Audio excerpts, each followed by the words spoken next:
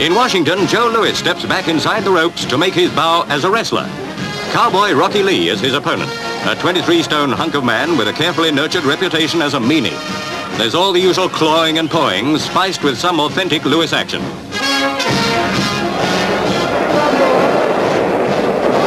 Playing his role of villain to the hilt, Lee gets a warning from referee Jersey Joe Walcott, himself a former heavyweight champ. Lee has a bash at the ref for luck, then turns to deal with the other Joe. But the old brown bomber has other ideas. He thinks there are too many people in the ring anyway. No, Joe, we'd rather remember you as you were.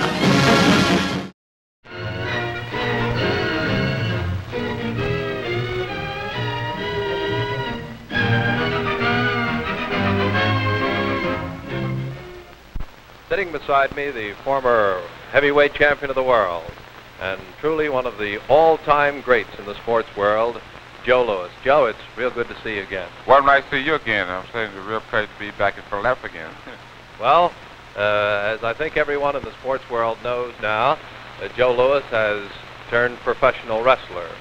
Now, uh, Joe, there has been quite a bit of criticism about it in the newspapers. I know that you have read it, and I'd like to know how you feel about it.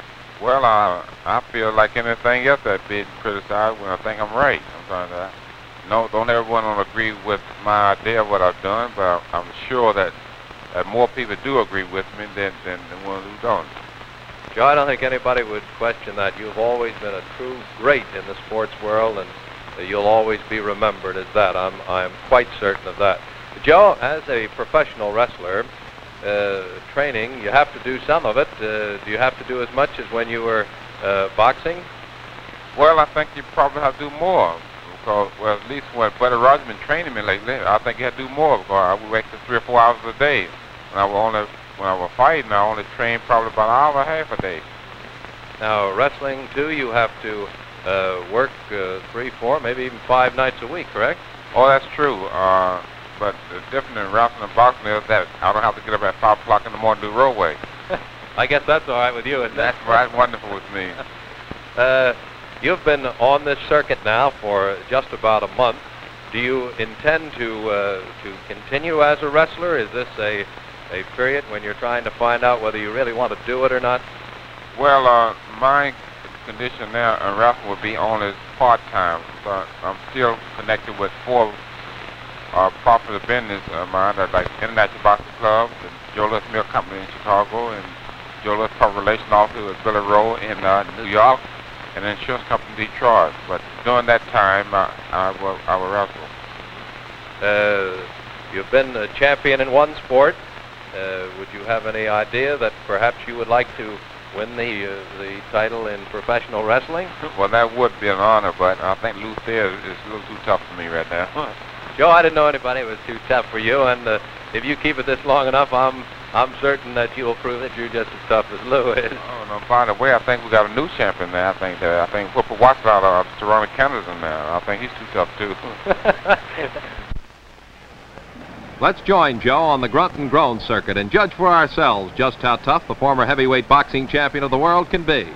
That mountain of muscle and suet in the long underwear is Cowboy Rocky Sky High Lee. His name is just about as long as his waistline is round. Nonetheless, he claims to be an honorable and fearless performer.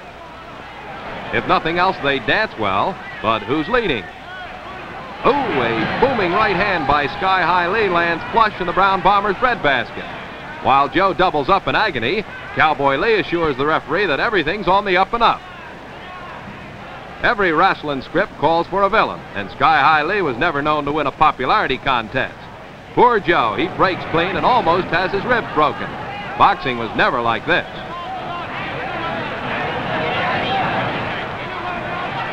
After being KO'd by the tax collectors, Louis was hoping to pick up pin money in the groan and grunt league. Right now, all he's picking up is a headache.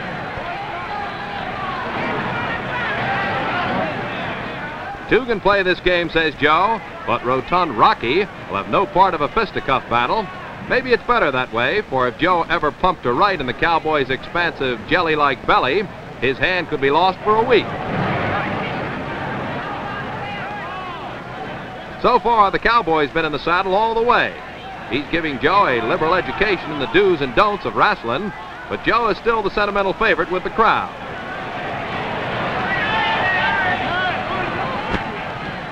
Ah, the worm is turning as Louis lathers Lee with some of his famous perpetual motion punching.